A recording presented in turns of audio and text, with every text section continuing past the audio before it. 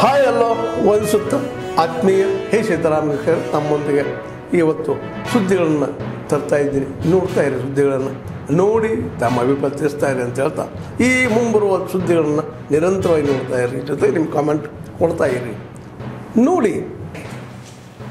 ಸರ್ಕಾರ ಸ ನಿರ್ಲಿಪ್ತವಾಗಿದೆ. ಸತ್ತ ಜನತ್ವದ ಸರ್, ಸತ್ತ ಸರ್ಕಾರ ಆಗಿದೆ. ಸನ್ಮಾನ್ಯ ಸಿದ್ದರಾಮಯ್ಯನವರು ಪಂಜರದ ಗಿಳಿಯಾಗಿದ್ದಾರೆ ಹಿಂದೆ ಅವರು ಮಂತ್ರಿಗಳಾಗಿದ್ದಾಗ ಪಟೇಲ್ ಕಾಲದಲ್ಲಿ ದೇವೇಗೌಡರ ಕಾಲದಲ್ಲಿ ನಾನು ಕೂಡ ಮಂತ್ರಿ ಆಗಿದ್ದೆ. ಕೆಲಸ ಮಾಡಿದ್ದೀನಿ. ಅವತ್ತಿನ ಸಿದ್ದರಾಮಯ್ಯನ ಇವತ್ತಿನ ಸಿದ್ದರಾಮಯ್ಯ ಹೋಲಿಕೆ ಮಾಡೋಕ್ಕೆ ಆ ಸಿದ್ದರಾಮಯ್ಯ ಇದ್ದಾರಾ ಇಲ್ಲೋ ಅನ್ನೋ ಒಂದು ನೆನಪಿ ನಾನು ಈಗಾಗಲೇ ಹತ್ತಾರು ಬಾರಿ ಹೇಳ್ತಾನೆ ಇರ್ತೀನಿ. ಇವತ್ತವರೆಗೂ ಕೂಡ ಅದಕ್ಕೆ ಅವರು ಆನ್ಸರ್ ಮಾಡಿಲ್ಲ. ಅವರೊಂದು ಗೀಡೆ ಹೆಚ್ಚಾಗಿ ಅವರೇ ತಪ್ಪು ಮಾಡ್ಕೊಂಡ್ರು ಅವರೇ ಅವ್ರ ಕಾಲ ಕಲ್ಲು ಹಾಕೊಂಡು ಗಾಯ ಮಾಡಿಕೊಂಡ್ರು. ಒಂದು ಗಾಯ ಮಾಡ್ಕೊಂಡು ಅದೇ ಗುಲಾಮ್ ಹಚ್ಕೊಂಡು ಔಷಧಿ ಹಾಕಿದಷ್ಟು ಅವ್ಯವಸ್ಥೆಯನ್ನು ಮಾಡ್ಕೊಂಡ್ರು. ಎಲ್ಲವೂ ಕೂಡ ಬಿ ಜೆ ಪಿಯವರು ಹೇಳ್ತಾರೆ, ಮಾಡ್ತಾರೆ ಅನ್ನೋದು ಬರೀ ಅಪಪ್ರಚಾರ ಮಾತನ್ನ ಹೇಳ್ತಾರೆ ವಿನ. ನಾವು ಯಾವುದೂ ಕೂಡ ಆ ಥರ ಮಾಡಿದವರಲ್ಲ. ಅವ್ರ ಪಾರ್ಟಿಯವರಲ್ಲೇ ಅವ್ರ ಕಾಲು ಹಿಡಿಯುವಂಥ ಪರಿಸ್ಥಿತಿ ಈಗಾಗಲೇ ಬಂದಿದೆ. ಡಿಸೆಂಬರ್ ಈ ಚುನಾವಣೆ ಮುಗಿದು ಇಪ್ಪತ್ತ್ಮೂರಕ್ಕೆ ರಿಸಲ್ಟ್ ಬರ್ತದೆ. ಇಪ್ಪತ್ತ್ಮೂರು ರಿಸಲ್ಟ್ ಬಂದ ಮೇಲೆ ಯಾರ್ಯಾರು ಏನೇನು ಆಗ್ತಾರೆ ಅನ್ನೋದಕ್ಕಿಂತ ಹೆಚ್ಚಾಗಿ ನೂರಕ್ಕೆ ನೂರು ಸಿದ್ದರಾಮಯ್ಯವರು ರಾಜ್ಯದ ಮುಖ್ಯಮಂತ್ರಿಗಳಾಗಿರೋದಕ್ಕೆ ಒಂದು ಪರ್ಸೆಂಟ್ ಕೂಡ ಕಾಂಗ್ರೆಸ್ನವ್ರು ಒಪ್ಪೋದಿಲ್ಲ ಅನ್ನೋದು ನನಗಿರ್ತಕ್ಕಂಥ ಡೆಲ್ಲಿಯಲ್ಲಿ ನಾನು ಕೂಡ ಭಾರತ ಸರ್ಕಾರದ ಮಂತ್ರಿ ಆಗಿರೋದು ನನಗಿರ್ತಕ್ಕಂಥ ಮಾಹಿತಿ. ಆ ನಿಟ್ಟಿನಲ್ಲಿ ಏನಿವತ್ತು ಬಸವರಾಜ ಬೊಮ್ಮಾಯಿಯವರ ಒಂದು ದೊಡ್ಡ ಹೃದಯ ಅವರೆಲ್ಲವೂ ಕೂಡ ಆಗಿರ್ತಕ್ಕಂಥ ಈ ಸಿಗ್ಗಾವು ಸೌಳೂರು ಬಂಕಾಪುರ ವಿಧಾನಸಭಾ ಕ್ಷೇತ್ರ ಬಿ ಜೆ ಪಿಯ ಭದ್ರಕೋಟೆ ಆಗಿ ಅದನ್ನು ಗೆಲ್ಲಿಸ್ತಕ್ಕಂಥ ಅದಕ್ಕೆ ಈ ಭಾಗದ ಜನ ತೀರ್ಮಾನ ಮಾಡ್ತಾರೆ, ಮಾಡಿದ್ದಾರೆ ಅಂತ ಕಾಣಿಸ್ತದೆ. ನನಗೆ ಏನಾಯ್ತು ಕಾಲದಲ್ಲಿ ಏನಾಯಿತು ಅನ್ನೋದಕ್ಕಿಂತ ಹೆಚ್ಚಾಗಿ ಸುಮಾರು ಇಪ್ಪತ್ತು ವರ್ಷದ ಹಿಂದೆ, ಎರಡು ಸಾವಿರದ ಎಂಟರಿಂದ ಹಿಂದೆ ಯಾವ ಆಗಿದೆ? ಬಸವರಾಜ ಬೊಮ್ಮಾಯಿ ಅವರಿಗೆ ಮತ ಕೊಡೋದ್ರಿಂದ ರಾಷ್ಟ್ರದ ಪ್ರಧಾನಮಂತ್ರಿ ನರೇಂದ್ರ ಮೋದಿ ಅವರನ್ನ ಮೂರನೇ ಬಾರಿಗೆ ರಾಷ್ಟ್ರಕ್ಕೆ ಅಭಿವೃದ್ಧಿಗೋಸ್ಕರವಾಗಿ ಏನು ನಿಮ್ಮ ಕೊಡುಗೆ ಇದೆ ಹಾವೇರಿ ಕ್ಷೇತ್ರದ ಜನತೆಯ ಸವಣೂರು ಮತ್ತು ಶಿಗ್ಗಾಂವ್ ಜನತೆ ಕೊಡುಗೆ ಇದೆ.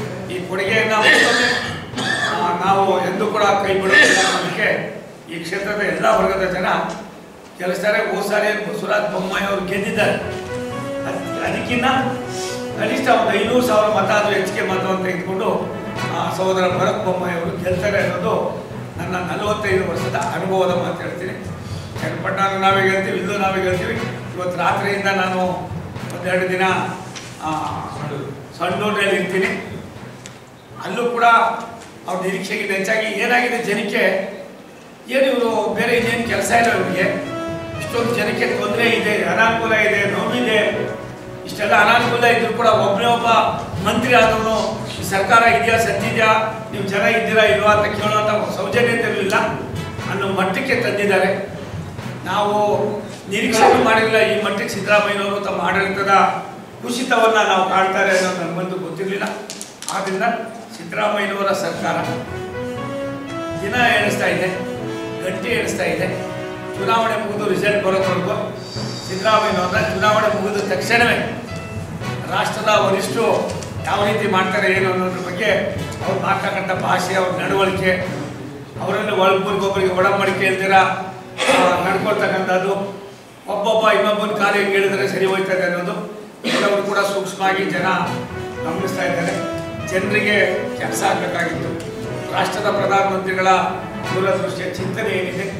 ರಾಷ್ಟ್ರವು ವಿಸ್ತಾರವಾಗಿ ಅಭಿವೃದ್ಧಿ ಕಾಣಬೇಕಾದ್ರೆ ರಾಜ್ಯ ಸರ್ಕಾರ ರಾಷ್ಟ್ರ ಸರ್ಕಾರ ಎರಡೂ ಕೂಡ ಒಂದು ನಾಣ್ಯದ ಎರಡು ಮುಖಗಳಾಗಿ ಕೆಲಸ ಮಾಡೋದು ಬಿಟ್ಟು ದಿನ ಬೆಳಗಾದ್ರೆ ಮೋದಿಜಿಯವ್ರನ್ನ ಬಾಯಿ ಬಂದಂಗೆ ಮಾತನಾಡಿಕೊಂಡು ಎಲ್ಲ ಒಂದು ಕಡೆ ಕೆಲವ್ರನ್ನ ತೃಪ್ತಿಪಡಿಸ್ತಕ್ಕಂಥ ಕೆಲಸವನ್ನು ಮಾಡಿ ಸನ್ಮಾನ್ಯ ಸಿದ್ದರಾಮಯ್ಯ ಪಂಚಾಯತ್ ಗಿರಿಯಾಗಿದ್ದಾರೆ ಈ ಚುನಾವಣೆಯಲ್ಲಿ ಸಿಗ್ಗಾವಿ ಮತಕ್ಷೇತ್ರ ಬಸವರಾಜ ಬೊಮ್ಮಾಯಿಯವರ ಒಂದು ದೊಡ್ಡ ಕಲ್ಪನೆಗೆ ಮತ್ತೊಮ್ಮೆ ಅವರಿಗೆ ಆಶೀರ್ವಾದ ಮಾಡ್ತಾರೆ ಅನ್ನೋ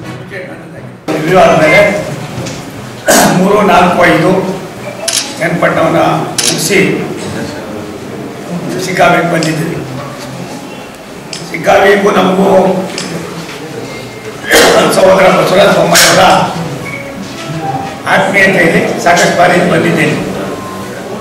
ಮಂತ್ರಿ ಹಾಗೂ ಬಂದಿದ್ದೀನಿ ಶಾಸಕರಾಗೂ ಬಂದಿದ್ದೀನಿ ಹಾಗೂ ಬಂದಿದ್ದೀನಿ.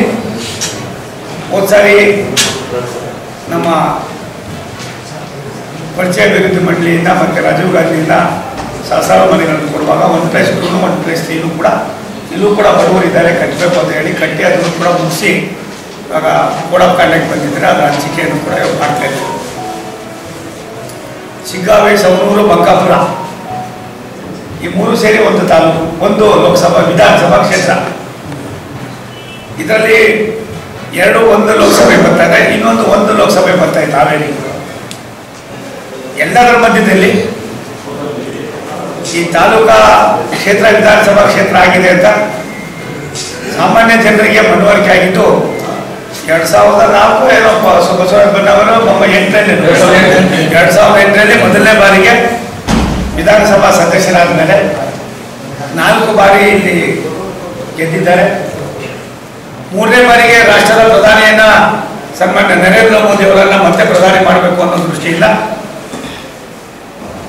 ಸನ್ಮಾನ್ಯ ದೇವೇಗೌಡರು ನಮ್ಮ ಪಕ್ಷದ ಎಲ್ಲ ವರಿಷ್ಠಗಳು ಕೂತು ಚರ್ಚೆ ಮಾಡಿ ದೇವೇಗೌಡರಿಗೂ ಕೂಡ ಬಿಜೆಪಿಗೂ ಕೂಡ ಎಣ್ಣೆ ಸಿಗಬೇಕಾಗಿತ್ತು ಅಂಥವರು ರಾಷ್ಟ್ರಕ್ಕೆ ಅನಿವಾರ್ಯ ಪ್ರ- ಪ್ರಧಾನಿ ನರೇಂದ್ರ ಮೋದಿ ಅನ್ನೋದನ್ನ ಅರ್ಥ ಮಾಡಿಕೊಂಡು ಇವತ್ತು ಒಬ್ಬ ಮಗನನ್ನ ತುಮಕೂರಿಗೆ ಹಾಕ್ತಾರೆ ಅಳಿನನ್ನ ಬೆಂಗಳೂರು ಗ್ರಾಮಾಂತರಕ್ಕೆ ಹಾಕ್ತಾರೆ. ಅದೇ ರೀತಿ ಬಸವರಾಜ ಬೊಮ್ಮಾಯಿ ಅವರನ್ನ ರಾಷ್ಟ್ರದ ನಾಯಕರು ಮತ್ತು ನಮ್ಮ ನಾಯಕರುಗಳು ಎಲ್ಲರೂ ಸೇರಿ ಇವತ್ತು ಹಾವೇರಿ ಲೋಕಸಭಾ ಕ್ಷೇತ್ರದ ಕ್ಯಾಂಡಿಡೇಟ್ ಮಾಡಿ ಭಗವಂತ ದಯೆ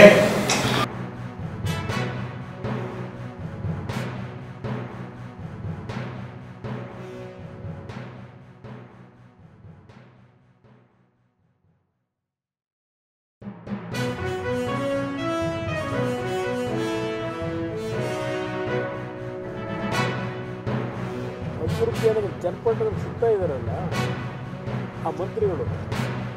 ಅವ್ರ ಕ್ಷೇತ್ರದಲ್ಲಿ ರಸ್ತೆಗಳನ್ನು ಯಾವ ರೀತಿ ಇಟ್ಕೊಂಡಿದ್ದಾರೆ? ಅವ್ರ ಕ್ಷೇತ್ರಗಳಲ್ಲಿ ಹಳ್ಳಿಗಳನ್ನು ಯಾವ ರೀತಿ ಇಟ್ಕೊಂಡಿದ್ದಾರೆ? ಸ್ವಲ್ಪ ಅದನ್ನು ಕರ್ಕೊಂಡೋಗಿ ಜನಕ್ಕೆ ತೋರಿಸಿ. ಅಭಿವೃದ್ಧಿ ಅಂದ್ರೆ ಅರ್ಥ ಏನು? ಚನ್ನಪಟ್ಟಣದ ಕ್ಷೇತ್ರದಲ್ಲಿ ಅಭಿವೃದ್ಧಿನೇ ಆಗಿಲ್ಲ ಅಂತ ಅವ್ರು ಹೇಳೋದಾದರೆ, ಹಾಗಿದ್ರೆ ಅವರ ಕ್ಷೇತ್ರಗಳನ್ನ ನೋಡಿದಾಗ ಅದಕ್ಕೆ ಏನು ಹೇಳಬೇಕು ನನಗೆ ಅರ್ಥ ಆಗ್ತದೆ ನನಗೆ ನಿಜಕ್ಕೂ ಅಭಿವೃದ್ಧಿಯ ಪದ ನನಗೆ ಕನ್ಫ್ಯೂಷನ್ ಆಗ್ತಿದೆ ಅವ್ರು ಹೇಳ್ತಾ ಇರ್ತಕ್ಕಂಥ ಭಾಷೆಗಳು ನೋಡಿದ್ರೆ. ಇವರ ಇದೆಲ್ಲದಕ್ಕೂ ಉತ್ತರ ಬಹುಶಃ ನಿಖಿಲ್ ಕೆ ಕುಮಾರಸ್ವಾಮಿ ಚನ್ನಪಟ್ಟಣದ ಮತದಾರರ ಒಂದು ಆಶೀರ್ವಾದದಿಂದ ಆಯ್ಕೆಯಾಗಿ ವಿಧಾನಸಭೆಗೆ ಪ್ರವೇಶ ಪಡಿತಾನೆ. Treasurer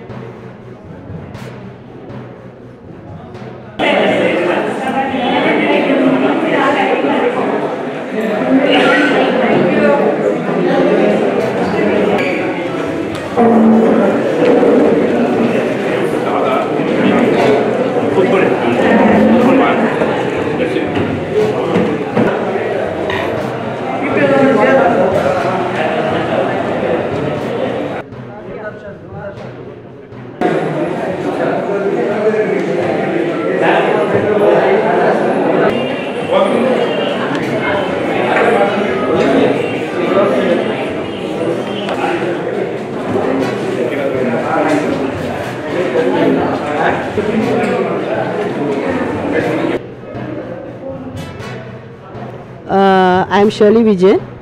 We have come from uh, CCA Karnataka, which is in Bangalore.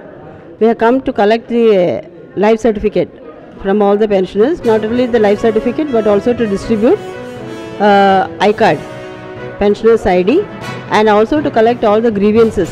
When the pensioners are having any grievances, they can give the representation to us so that we can take it up at our office level. Uh, yeah, life certificate. Life certificate, huh? No, life certificate only when the pensioners submit the life certificate, they will be getting the pension. Yeah, otherwise they will not get the pension. So we have to collect the life certificate so that they do not come to Bangalore to gi- submit the life certificate. So we have come here to collect the life certificate manually from them and then we'll upload it in our sampan. Uh, According to our list, uh, I think uh, from Mysore at least some uh, 500 or something is there. Uh, I don't know because we are conducting for two days. Two days, today and tomorrow. Particles ಬಂದು M P ಇನ್ನೊಬ್ಬ ಎಂ ಪಿನ ಕರ್ಕೊಂಡು ಬಂದಿದ್ದಾರೆ ಏನು Bommai member ಆಗಿದ್ದಾರೆ ಅದರಲ್ಲಿ ಇಲ್ಲ ಅಂತಂದ್ರೆ ಸೋಮಣ್ಣ ಮೆಂಬರ್ ಆಗಿದ್ದಾರಾ ಸೋಮಣ್ಣ ಮಂತ್ರಿ ಮಂತ್ರಿ ಜೆ ಪಿ ಸಿಲೆಲ್ಲ ಇರಕ್ಕೆಲ್ಲ ಆಗಲ್ಲ ಸೊ ಅವ್ರು ಬಂದು ಅವ್ರ ಅರ್ಜಿಗಳನ್ನ ಇಸ್ಕೊಂಡು ರಾಜಕೀಯಕ್ಕೆ ಜನರಿಗೆ ಪ್ರಚಾರ ಮಾಡಬೇಕು ಅಂತ. ಅವರ ಕಾಲದಲ್ಲೇ ನಿಮ್ಮ ಧಾರವಾಡದಲ್ಲೇ ಕೇಳಿ, ನಿಮ್ಮ ಜಿಲ್ಲಾಧಿಕಾರಿಗಳು ಕೇಳಿ. ಅವರೇ ಅವರ ಸರ್ಕಾರ ಇದ್ದಾಗ, ಬೊಮ್ಮಾಯಿ ಸರ್ಕಾರ ಇದ್ದಾಗ ಈ ರೀತಿ ನೋಟಿಸ್ ಕೊಟ್ಟು ಈ ರೀತಿ ದಾಖಲೆಗಳನ್ನ ತಿದ್ದಿದ್ದಂಥದ್ದೆಲ್ಲ ಕೂಡ ಇದೆ. ಬಿಜಾಪುರಲ್ಲಿದೆ ಎಲ್ಲ ಕಡೆ ಇದೆ. ಮುಖ್ಯಮಂತ್ರಿ ಈಗಾಗಲೇ ಹೇಳಿದ್ದಾರೆ, ಬಿಡುಗಡೆ ಮಾಡ್ತೀವಿ ಅಂತ. ಎಲ್ಲ ಬಿಡುಗಡೆ ನಮ್ಮ ರೆವಿನ್ಯೂ ಮಿನಿಸ್ಟರ್ಗೆ ಹೇಳಿದೀವಿ ಯಾವ ರೈತನ ಜಮೀನನ್ನ ಕಬಳಿಸ್ಕೊಳ್ಳುವಂಥದ್ದು, ಕಿತ್ಕೊಳ್ಳುವಂಥ ಪ್ರಶ್ನೆ ಬರುವುದಿಲ್ಲ. ರೈತನ ಉಳಿಸ್ತೀವಿ. ಏನೋ ತಾಂತ್ರಿಕವಾಗಿ ಕೆಲವು ಅಧಿಕಾರಿಗಳು ಮಾಡಿರ್ಬೋದು. ಅದನ್ನೆಲ್ಲ ಸೆಟ್ರೇಟ್ ಮಾಡಿ ಎಲ್ಲ ರೈತರಿಗೂ ರಕ್ಷಣೆ ಮಾಡುವಂತ ಕೆಲಸ ನಮ್ಮ ಸರ್ಕಾರ ಬದ್ಧವಾಗಿದೆ. ತಾವು ಇಲ್ಲಿಯವರೆಗೆ ನೋಡಿದ್ರಲ್ಲ, ಈ ಸುದ್ದಿಗಳ ಬಗ್ಗೆ ನೀವು ಕಾಮೆಂಟ್ ಮಾಡ್ತಾ ಇರಬೇಕು, ಜೊತೆಗೆ ಸಬ್ಸ್ಕ್ರೈಬ್ ಮಾಡ್ತಾ ಇರಬೇಕು, ಜೊತೆಗೆ ಶೇರ್ ಮಾಡ್ತಾ ಇರಬೇಕು. ಯಾಕೆಂದರೆ ಈ ಸುದ್ದಿಗಳು ನಿಮ್ಮ ಜ್ಞಾನದ ಮೂಲ, ನಿಮ್ಮ ಬದುಕಿನ ಮೂಲ ಅಂತ ಹೇಳ್ತಾ, ಹೇ ಸೀತಾರಾಮ್ ಇದು ಸತ್ಯದ ಕೈಗಳಲ್ಲಿ ವಂದನೆಗಳು.